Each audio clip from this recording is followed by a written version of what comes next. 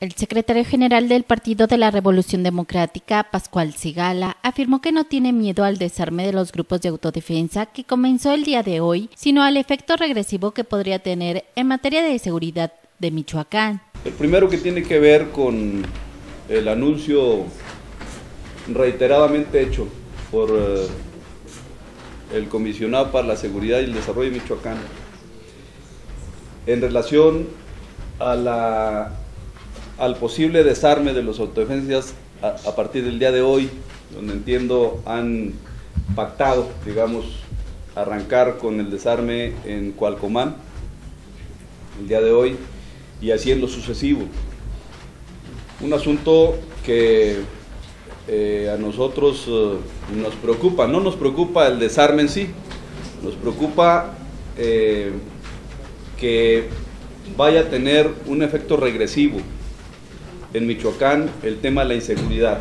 Dijo que se tiene confianza que el proceso de desarme sea por el bien de Michoacán y de quienes se atrevieron a levantarse en armas para combatir a la delincuencia.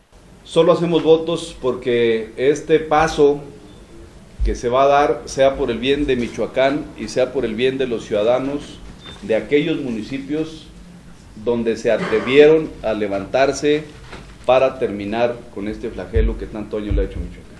Pascual Sigala opinó que los enfrentamientos registrados este fin de semana y hoy en la entidad son muestra de que el monstruo de la delincuencia sigue más vivo que nunca. Ayer en Lázaro Cárdenas y hace unas horas en Zacapu se han registrado enfrentamientos mortales y eso es un indicativo de que el tiburón de, que el, pulpo de 100 cabezas y cualquier cantidad de patas está vivo, está vivo, está presente y está actuante.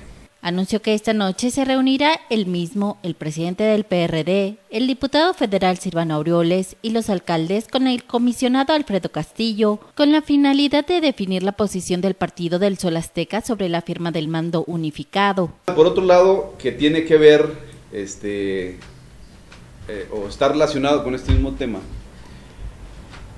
El día de hoy nos habremos de reunir el presidente de este partido, eh, su servidor, el diputado Silvano Orioles, con nuestros alcaldes. Eh, hoy por la noche y posiblemente en esas mismas horas con el comisionado para definir de una vez por todas la posición que vamos a adoptar en relación a la firma del mando unificado. Dijo que la reunión busca privilegiar el bien de Michoacán y de los ciudadanos.